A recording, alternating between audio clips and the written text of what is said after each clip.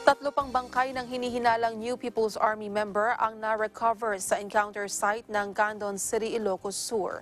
Ayon kay Major Erickson Bulosan, spokesperson ng Northern Luzon Command, nasa kabuang limang NPA member ang napatay sa sagupaan. Maliban pa ito sa isang sundalo at isang sibilyan na napatay din sa engkwentro. Ang bangkay ng mga rebelde ay natagpuan ng mga sundalo sa bisinidad ng barangay Suwagayan sa Santa Lucia habang nagsasagawa ng clearing operations. Na-recover sa encounter site ang apat na M16 rifle, isang carbine, isang shotgun, ilang live ammunition, dalawang anti-personnel mines at iba pang gamit pandigma. Nakikipag-ugnayan na ng tropa ng gobyerno sa lokal na pamahalaan ng Ilocos Sur at mga pulis upang mapigilan ang pagbabanta ng nalalabi pang NPA rebels sa lalawigan.